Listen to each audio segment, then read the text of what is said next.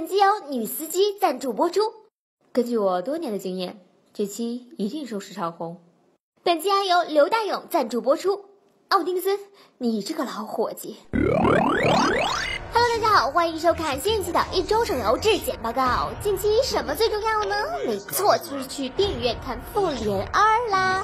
看完首映的小伙伴们都已经在刷屏了呢，而小波我呢，已经在朋友圈看完了整部《复联二》。呵呵，今天就为大家检验几款好玩的休闲游戏。嗯，好像两者并没有什么关联。首先，先为大家带来的是强势回归的怒鸟系列新作《愤怒的小鸟大作战》。这是一款怒鸟题材的三消游戏，采用了全新的世界匹配玩法，玩家只需要点击对战就可以与世界各地的玩家展开实时战斗。游戏的玩法上呢，并没有太多的创新，只是加入了战力模式。玩家在消除之后呢，可以累积自己的战力和防御力，在消除结束后呢，便和敌方玩家展开对战，其实就是拼点。游戏还是非常好玩的，只是服务器太差了，总是掉线，我也是醉了，实在是懒得吐槽了。检测结果六点五分，合格。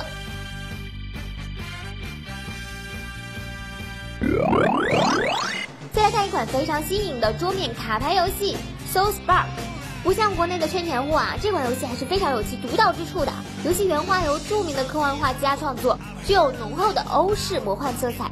玩家在游戏中呢，可以控制包括骑士、游侠、治疗师这三个人物角色，击败面前出现的敌人。每个英雄呢，都有不同的武器、药水和技能。只有把这些资源装备到对应的角色身上，才能发挥出其作用。双方所打的每一张牌都具有一定的准备时间，而且不同的牌呢，需要的准备时间也会不同。玩家需要根据出牌的时间差来控制策略。例如，敌人使用了一个强大的魔法，但用时较长，那你就可以在其魔法发动的时间内，采用一些防御手法消除他的攻击，非常具有挑战性哟。不过，游戏不支持中文，所以玩家需要一定基础的语言储备呀。检测结果八分，合格。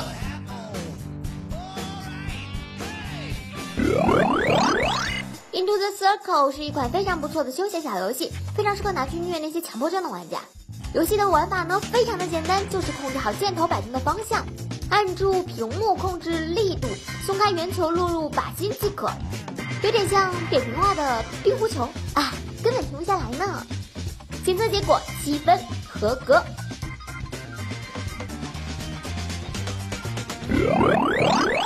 接下来是社交巨头金达带来的 Empire Balance 这款游戏，在之前 Facebook 上架之后呢，首月上线玩家就突破了四千万哟。对于首次涉足社交战斗类型的基达来说，这个游戏的成绩啊是相当的理想。此次移植到移动平台，想必是为了占领日益饱和的移动市场。这款游戏属于战争题材，玩法和海岛奇兵类似，拼的都是玩家的策略和部署能力。画面呢更贴近写实风格，乍一看有点像红警哎。视角方面呢一直都是最大的强项了，但和我们又没有啥关系，毕竟我们也没阅读过那本叫做《脸书》的禁品。游戏支持中文，感兴趣的玩家可以尝试一下哟。检测结果六点五分，合格。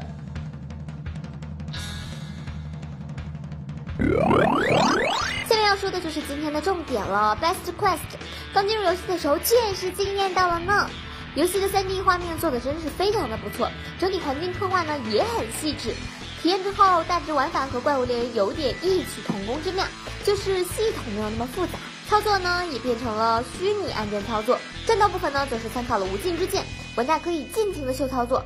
世界呢则是开放性的世界，玩家可以探索地图寻找宝藏，可玩性十足哟。游戏免费，不支持中文，千万不要错过哟。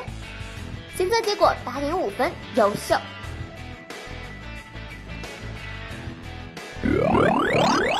好啦，本期的一周手游质检报告到这里就要结束啦！记得关注我们的微博和微信公众号哟，小波在这里等着你呢。好了，我要去看《复联二》了，下期再见，拜拜。